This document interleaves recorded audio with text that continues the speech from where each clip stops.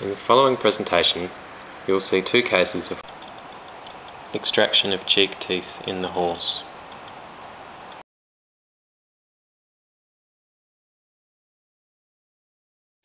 Here we see an oral shot demonstrating a fractured cheek tooth.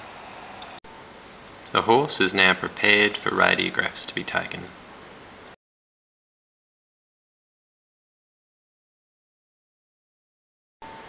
This shot clearly demonstrates the fracture and we see the tooth in two fragments. To manage pain, nerve blocks are performed and the horse is given appropriate anaesthesia.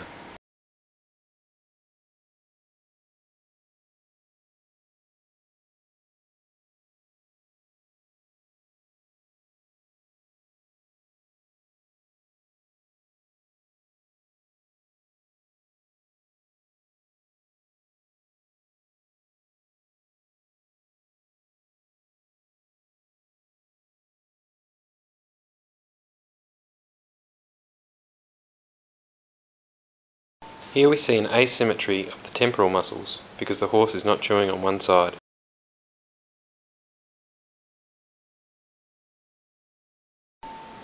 This image demonstrates the location of the fracture as indicated by the pen.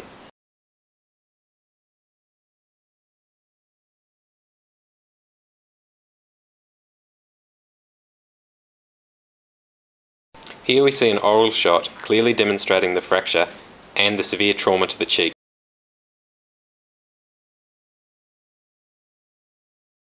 The patient is prepared for surgery and the slow task of removing the tooth begins.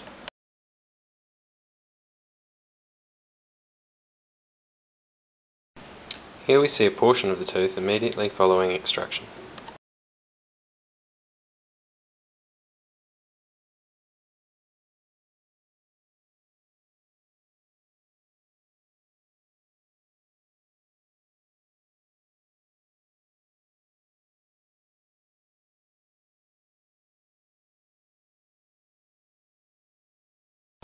In this x-ray we can clearly see that all of the tooth has been removed. Here is the same horse undergoing examination nine months later.